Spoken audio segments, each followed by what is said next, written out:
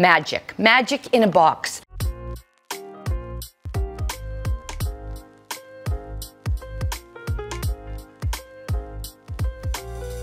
Who gets excited about carrots? Then there were carrots and peas. Still not doing it for me. Then let's give it a big kick in the pants and do this great sort of Moroccan twist to it with something called a labneh, some dukkah on top, and we'll really make carrots rise to the top of the food chain. Let's see if we can do that today. What is labneh? Labneh is simply taking Greek yogurt, a 500 gram tub of Greek yogurt, and wrapping it in cheesecloth and putting it in a strainer. That is going to strain overnight. A good 24 hours is better because it will reduce. What it does is it takes all the liquid or the whey out of the yogurt. So there's nothing left. And what you're left with is basically yogurt cheese all that came out of the 500 gram tub and I'm going to undo the cheesecloth. I have this lovely little ball of yogurt cheese. Look at that. It's going in a bowl. Carrots. Not my favorite thing, but they sure are now. If you can, get the rainbow carrots. They're, you can find them. They are everywhere. Now you're gonna cut them down so that they're evenly sized. I've got a tray here just lined with parchment and, and there's no reason for that other than making the cleanup easy and everybody likes a good easy cleanup. A good drizzle of olive oil on the carrots and then a nice little handful of coarse salt all over the top.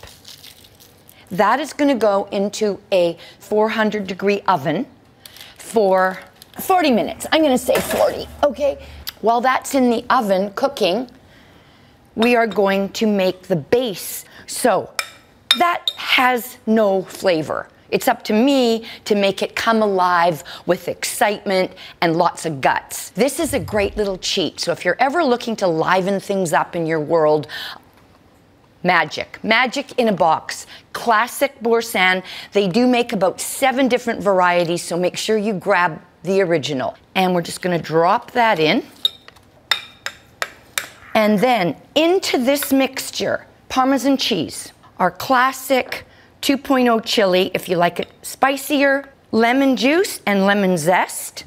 I'm not gonna put salt because you saw how generously I salted the carrots. So I don't think that this needs to be salty, but you can give it a taste and see what you think.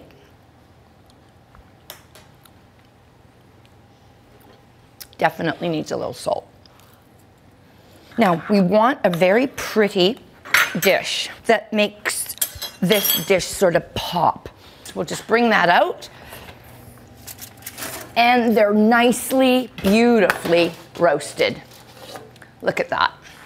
I'm going to take all of this and just do a great, lovely smear down the middle of this tray. Our beautiful carrots, and you're gonna take these and scatter them all over like that. You can see why I prefer having the color. Orange wouldn't be quite as zazazoom, which is what we're looking for. Then to take it one step further, we're gonna kind of do a little bit of a dukkah.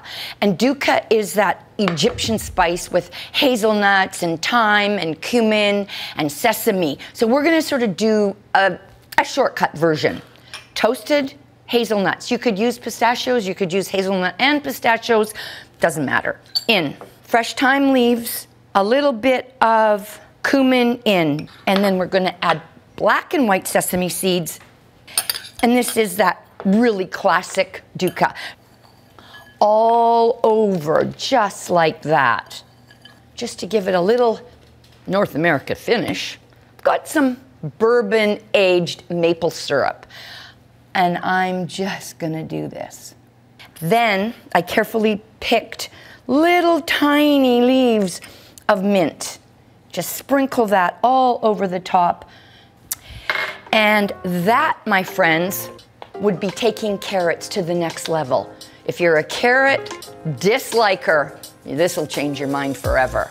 So Colored carrots, orange carrots, doesn't matter. It's the base, the labneh that makes it, and that little bit of dukkah on top. And don't forget that sort of splash of bourbon maple syrup. This is a keeper.